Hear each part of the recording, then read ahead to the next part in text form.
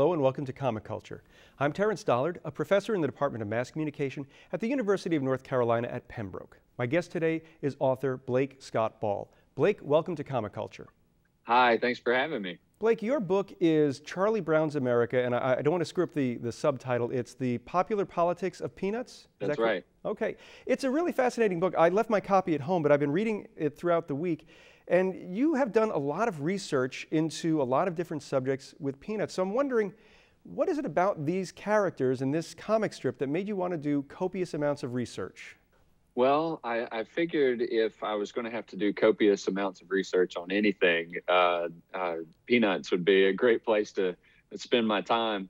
Um, although it did did get uh, a lot of uh, uh, a lot of jokes and and uh, side looks from my grad school fellows. But um, the the thing that really interested me um, was the fact that uh, first of all, that Peanuts was just so immensely popular. It was it was so well known. It's so uh, just ubiquitous in American culture, um, and I, as a kid, found it um, sometimes confusing uh, because it wasn't quite as um, it didn't really follow the model of of uh, a lot of the the comedy and and children's entertainment that I was used to uh, by by the 90s. Um, it wasn't always immediately funny.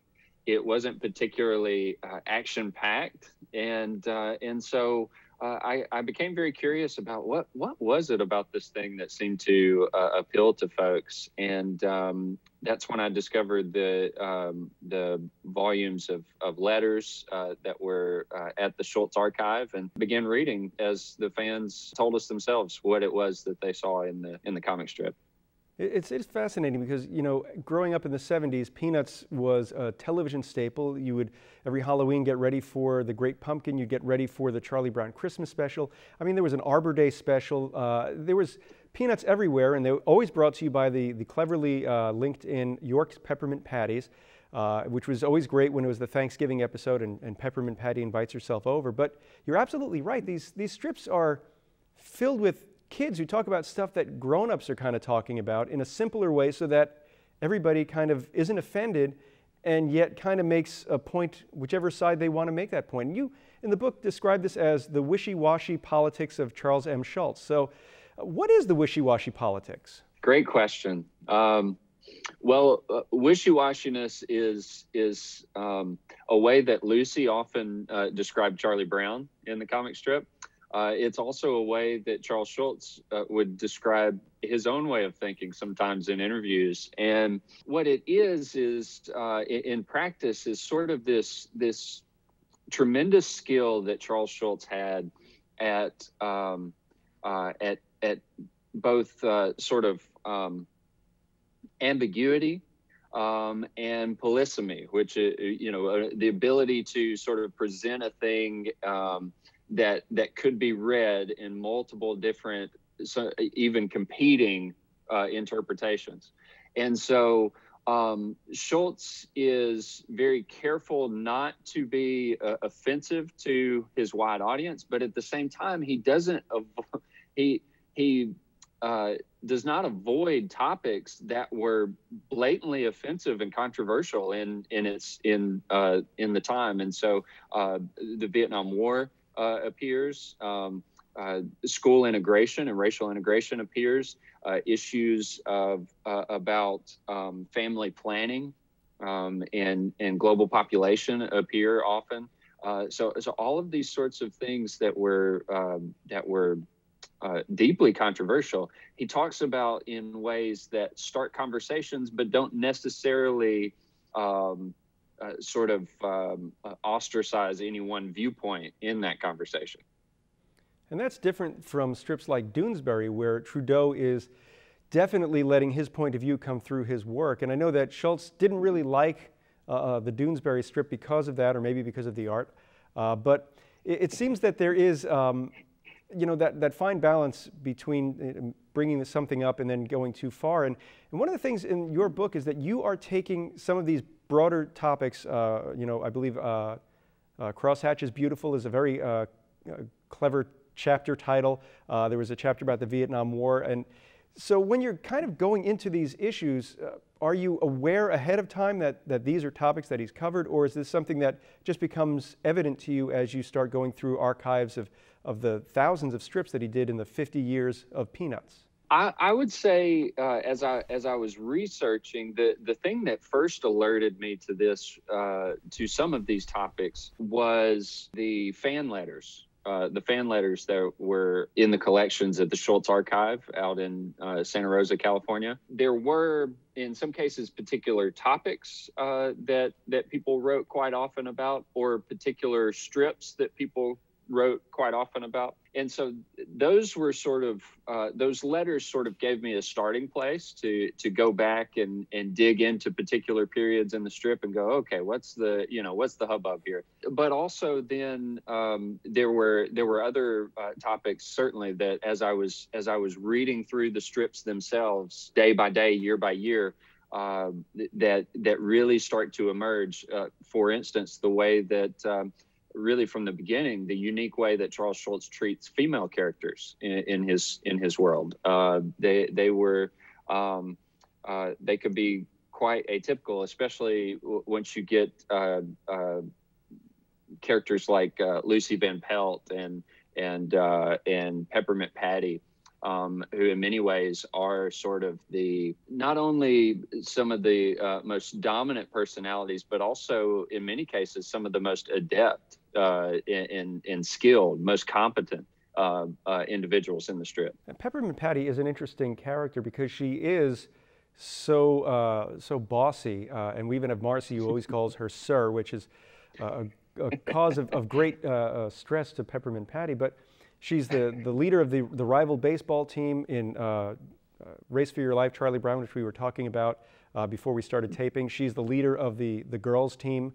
Um, so when we are looking at characters like Peppermint Patty, she becomes sort of an icon uh, for, uh, well, I guess the counterculture for lesbian culture. And this is something that Schultz is not necessarily happy with. So how does he sort of ride that wave and, and still work with the character and, and not feel like he has to pander one way or the other?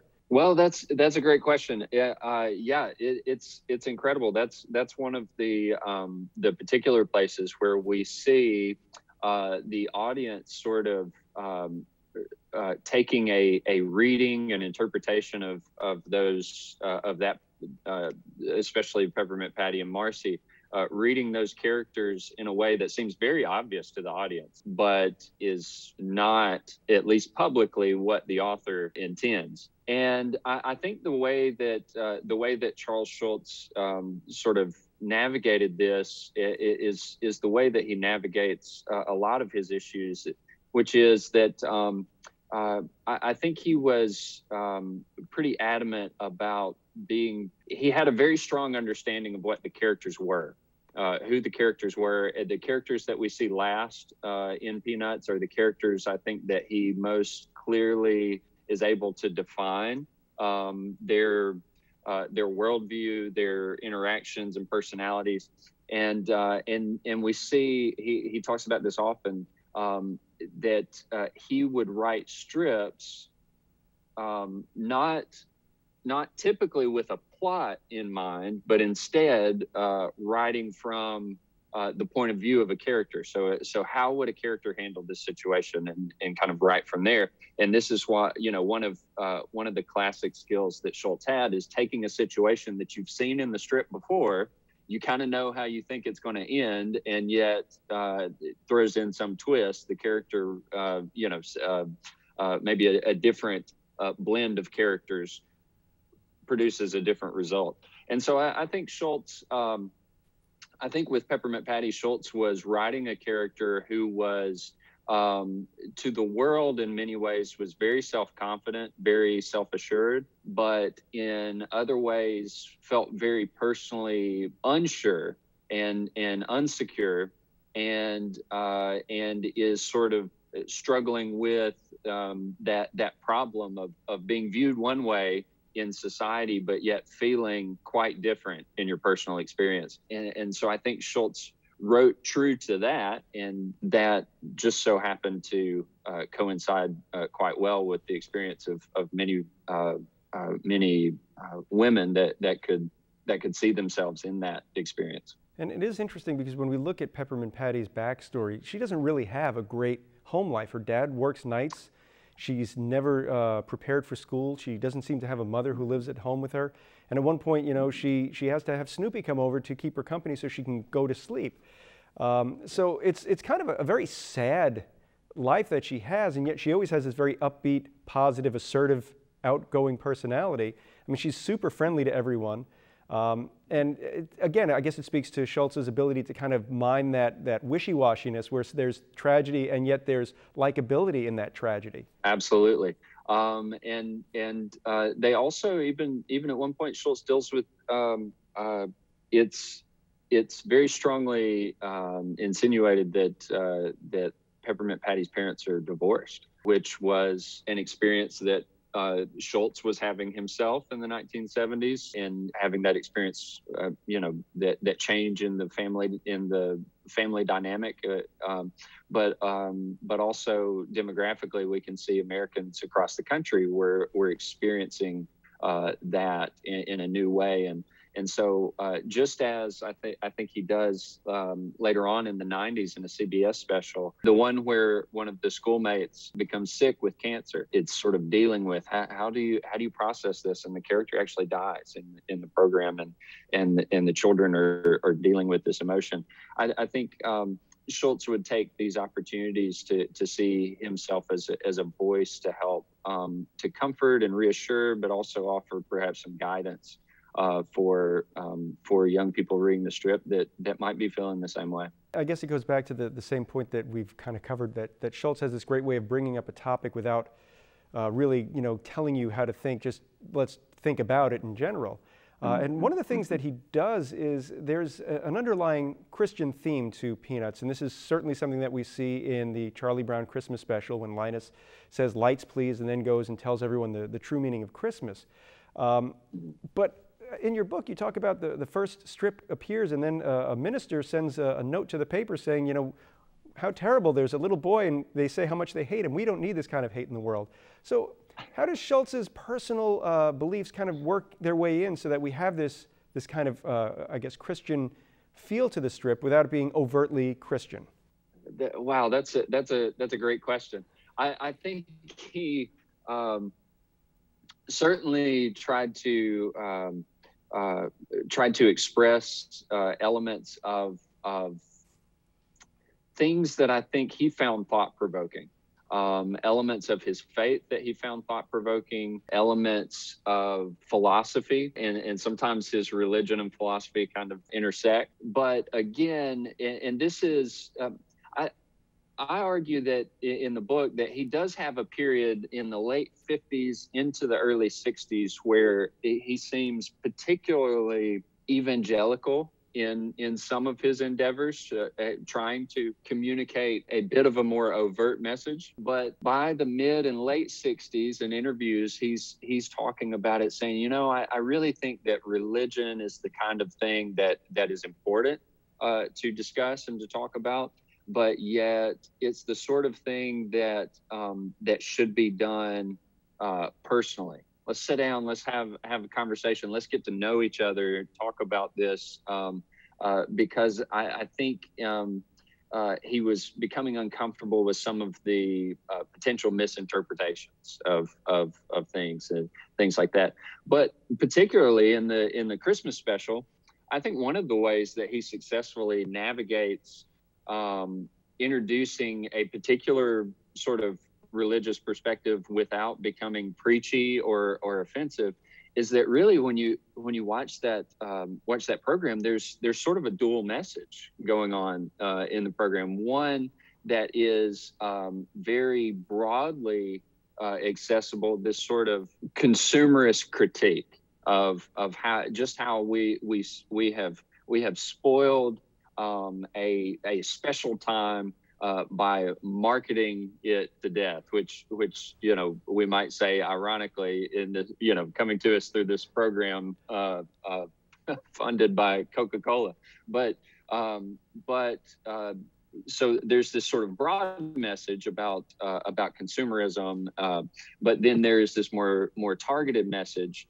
about about uh, how the nativity of Christ is sort of missing from from our Christmas story, and so then again we can see this in uh, in the audience response that that there are those who who uh, respond to the anti-consumerist message and then there are those who respond particularly to that nativity scene and say wow you know a program that actually dared to mention uh, jesus or read the bible on on primetime television it is funny when we watch that special uh, now you know i remember watching as a kid i remember watching it uh, in my, my 20s. I remember watching it last year, uh, and there was a big uh, you know, mix up because it wasn't on ABC last year, it was on PBS, and it was only on mm. at this one time because Apple bought the rights to it.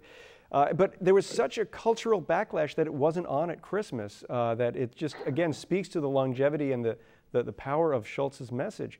Um, now, you, you mentioned um, Schulz kind of uh, thinking that things should be kept private and yet you know his private life is one of those things that we don't know too much about and you in your book talk about mm-hmm. how he was involved with certain you know political movements he had correspondence going with, with President Reagan. Um, and a lot of times the strip would reflect his hobbies. When he took up tennis, well, so did Snoopy. You know, when you are going back and you're looking at Schulz as the, the person versus Schulz as the artist, how do you, you know, kind of look at that and, and see the connection, but also see the, you know, the, the, I guess, individuality of both person and art? This can be a really challenging question for uh, for scholars dealing with um, uh, dealing with the work um, of a particular author. The the question of how much um, in some of in some of my um, current research projects, I, I'm I'm digging through and trying to figure out. Okay, when a when a when a writer uses a particular sort of controversial political viewpoint, is that actually their viewpoint, or are they, um, you know, are they imbuing this to a character and, and giving, you know, and, and kind of trying to uh, track those things down? So it can be it can be dicey. Um, I think um, the the places uh, as a as a scholar that I was most interested in in the life of Schulz were uh, were the places where um, where his life um, and experience were uh, directly impacting um, uh, either either viewpoints that he articulates in the strip or uh, certain personality angles that uh, that he uses with the characters. Schulz would tell you that um, uh, in interviews, they would say, you know, are you Charlie Brown? Sometimes he would say, yeah, you know, I guess I'm a bit of a Charlie Brown. But uh, but uh, in many cases, he says actually uh, each of these characters is sort of a piece of my personality. He says some days I'm Lucy, and I've even heard a few stories from folks around Santa Rosa that when they ran into a Lucy Day, Charles Schulz. Uh, but um, uh, but uh, but yeah, it, it can be can be hard to parse out, and I, I think as scholars we have to be very careful to read too uh, too much of um, very careful not to make mistakes of, of sort of crossing our wires there. Sometimes the things in in the art are not the artist's perspective, um, uh, and some and sometimes they are. Uh, so it can be hard to tell. And one of the things that's, that's hard is, uh, as a kid, like you mentioned in, in the book, um, you know, you can read a strip and you don't know exactly why it's funny. I remember reading a collection of, of uh, Peanut strips um, and not knowing who Sam Snead was, but I, I knew that Linus always admired him. And I never knew who Joe Garagiola was, but I know that Charlie Brown always wanted his bubblegum card. And it would be years later until I realized, oh, he's the guy on NBC with Vin Scully who's calling the World Series. Um, so, you know, as a kid, you might have to go to uh, an adult and try and find out why this is funny or why this isn't funny. So, you know, in your book, you talk about having to do that. But, you know, somehow Schulz is able to make me want to keep reading it, even if I don't get the, the story right. So, you know, in your experience, you know, how did that sort of keep you engaged and, and you know, even though it wasn't necessarily the, the, the funniest joke to you, the next day you wanted to go back and read it? Yeah, well, I, I think um, I think one thing um, that uh, you you mentioned earlier in, in passing with uh, uh, with uh, Garry Trudeau and and uh, Doonesbury that perhaps Schulz uh, didn't like the art. Um, he Schulz talked a lot about the importance of design, um, the importance of attractive design in in your in your artwork, and and I, I think um, that is one thing that uh, that that he nailed. Uh, it was sort of his style uh, and, and, design of the characters, but also of of the the the settings that this world that felt very real, but at the same time was was extremely minimalist. And uh, I think design was uh, was a part of it. Um, the the characters and their and their their movements and and gestures and things were very attractive. Um, I think another part of it was even in the times when I couldn't exactly understand what uh, what the point was or, or what something there's this sort of air of of um, uh, what would the word be? Like air of intelligence or uh, profundity in in uh, in peanuts. And so um, I think what was unique about it was in in my just my personal child experience. I, have heard this from other folks. Uh, what was unique about it was that in the cases when I didn't understand, I wasn't turned off. I was actually intrigued to want to to want to understand. I want to be part of this conversation, um, and uh, and so um, and I think I think you know the places where where it did hit and connect, it connected closely enough that uh, you know I wanted to have more of those experiences. I wanted to I wanted to find the next uh, uh strip that uh, that I could identify with. Now, I, I, see we have just a few minutes left. We have about four or five minutes left in our conversation. And I just wanted to ask I've seen in your, uh, your bio that you have done a lot of research with peanuts throughout your academic career. And I'm just wondering, at what point are you, um, you're looking at the, these characters and it's sort of like you scratch the surface and you want to keep digging. Uh, is that sort of the case where you just found that one little thing and it was like, gosh, this, this, there's a lot to this and I can go here and I can go there and I can go the other and all these other places. Is, is that sort of the enthusiasm that you were finding?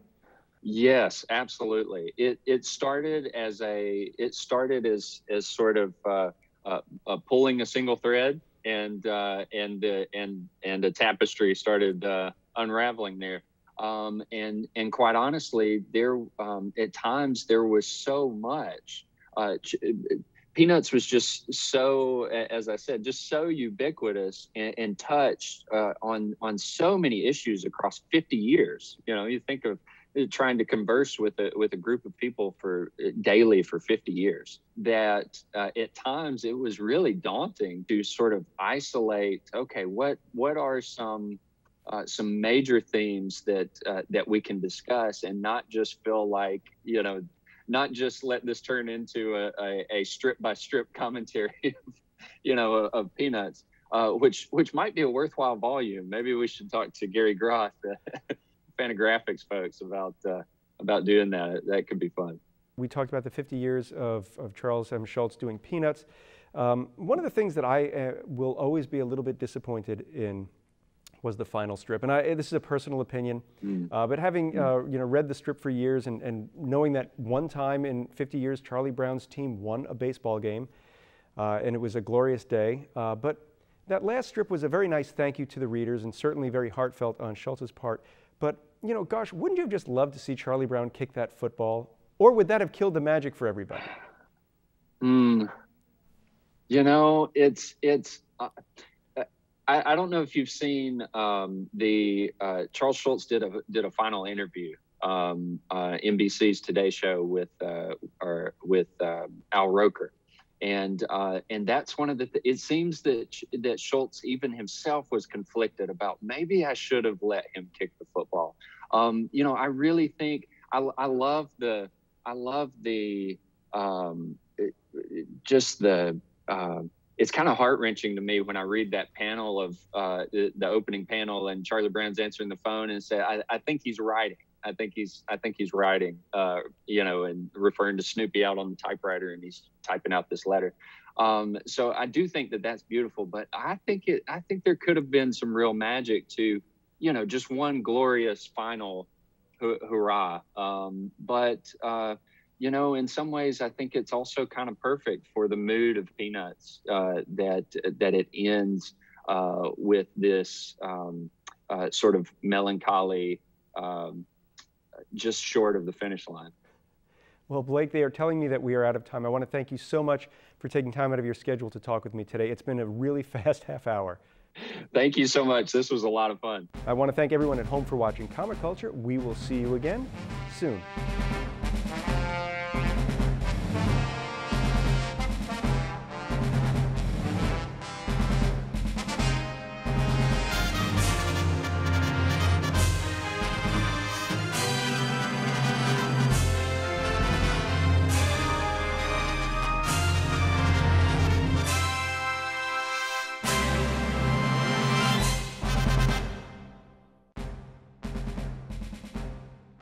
Comic Culture is a production of the Department of Mass Communication at the University of North Carolina at Pembroke.